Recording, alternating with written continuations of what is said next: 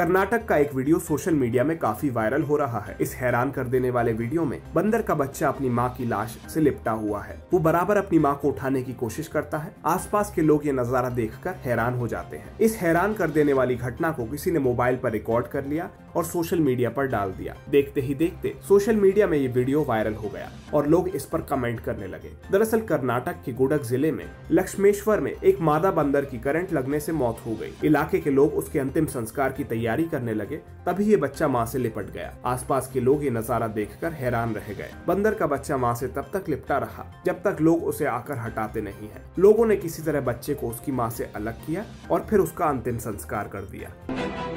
देश और विदेश की हर तरह की न्यूज़ को हिंदी में सबसे पहले देखने के लिए हमारे चैनल लोकमत न्यूज़ हिंदी को सब्सक्राइब करना ना भूलें।